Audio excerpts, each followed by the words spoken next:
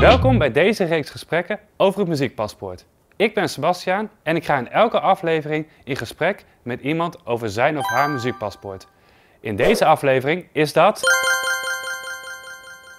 Ik ben benieuwd naar welke muziek hij graag luistert, wat er vroeger gedraaid werd en wat muziek voor hem betekent. Kijk je ook mee? En oh ja, wil jij ook een muziekpaspoort? Stuur dan een berichtje naar ons, dan sturen wij hem op. Leuk dat wij uh, een inkijkje mogen nemen in jouw uh, muziekpaspoort. En uh, ik zie dat jij dus heel veel Spotify luistert. Ja, dat klopt. Ja. En waar luister je dan zoal naar?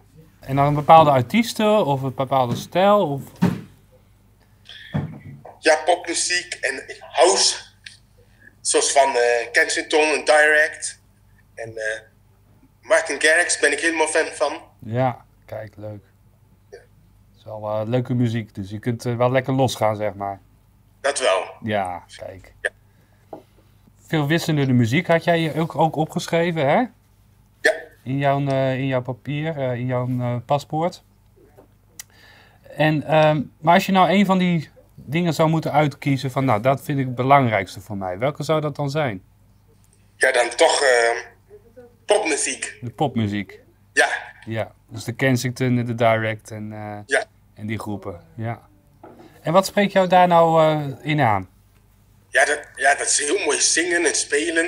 Ja, en de, de band, dat uh, liedjes wat ze spelen, dat vind ik gewoon mooi om te luisteren. Ja, en dan ehm, natuurlijk dit, dit, gaan we verder kijken in jouw paspoort. En dan komt de vraag eigenlijk voorbij waar jij heel veel herinneringen aan hebt en welk lied. En dan schrijf jij het volgende. Dat je daar een herinnering hebt aan een lied de uitvaart van je broer en je stiefmoeder. En dat je dat nog wel lastig vindt. Vind je dat dan lastig om te horen op de radio? Als je ja, dat uh, raakt me weer. Dan gaan mijn herinneringen weer naar die dag toe. Ja. Wat, wat vind je dan zo bijzonder aan dat lied? Is, is het de tekst die je dan hoort of de muziek die je hoort? Is het omdat je dat natuurlijk van die uitvaarten hebt meegekregen? Ja, dit is de tekst wat ze zingen. Iedereen heeft pijn, iedereen heeft verdriet. Dat ja. zingt eh, persoon die dat lied... Eh, en, en um, wat, wat voor gevoel krijg je als je dat nummer weer hoort? Wat, hoe, hoe voel je je dan? Ja, een beetje bedroefd. Niet echt verdrietig, maar gewoon... Dan gaan we gewoon nu verder naar jouw paspoort kijken, hè? Want ja, dan uh, is het wel leuk om verder te kijken.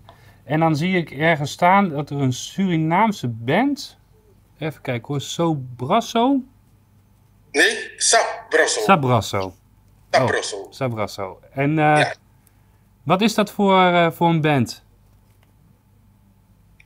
Dat, dat is een, uh, een Surinaamse band als er iemand jarig is, maar op een speciale manier. Dus als iemand 20 is, of 30, of 40, of 50, zulke getallen, als diegene dan op 50 jaar jarig is, of 60, dan meestal huren ze dan een eh, band, mm -hmm. die Brussel.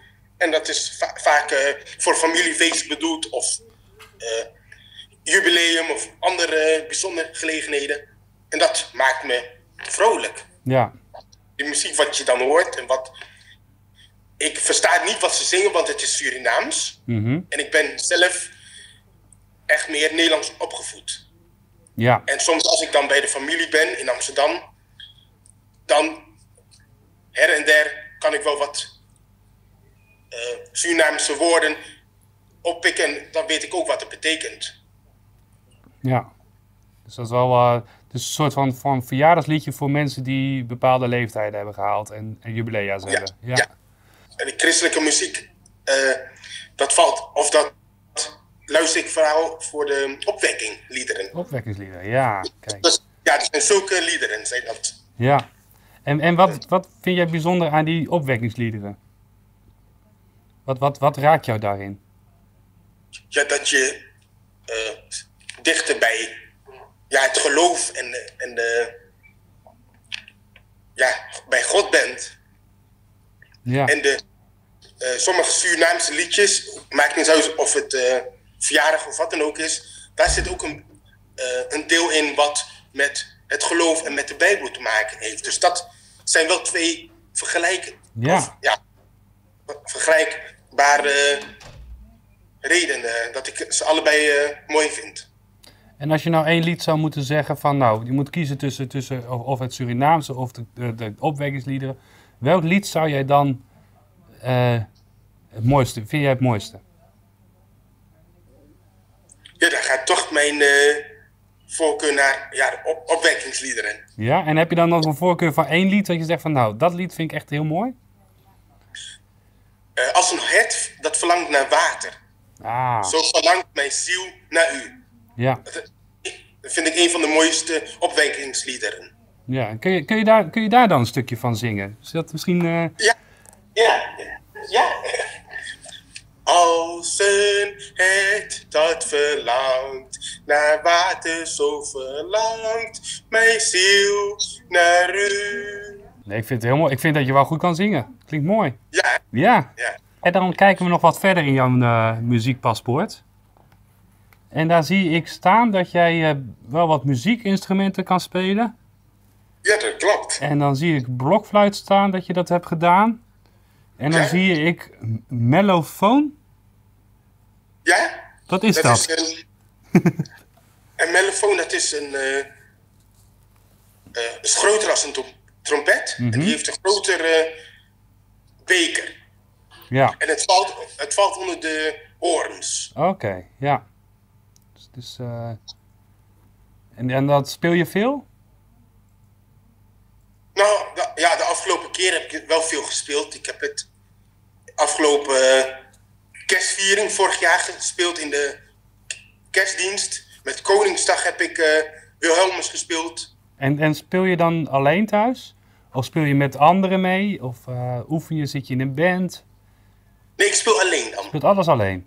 Ja, Oké, ik heb, ik heb wel met een eh, koppel van vier horens eh, gespeeld. En dat was op een muziekschool. ja. Maar dat is nu niet meer.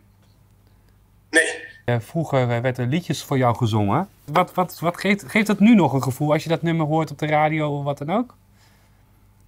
Ga- je dan weer een beetje terug naar de kinderjaren? Voel je dan weer, eh, hey, ik kom terug bij mijn kind als kind? Of? ja, als ik die liedjes weer hoor, dan ga ik wel weer eh, terug naar die herinneringen. Ja, Ja. en dat, dat vind je ook wel fijn. Ja, en meestal so- werden die, sommige liedjes werden dan echt in de winter gezongen. Of ja, door eh, pleegouders. En dan zaten we bij de kachel, pyjama en een ochtendjas aan. En het was dan donker. Echt, echt een gezellige sfeer. Ja, Dus dat, eh, dat komt dan weer naar boven. leuk. Ja. Ja. Hoe vind je het om, om, om die muziekpaspoort in te vullen?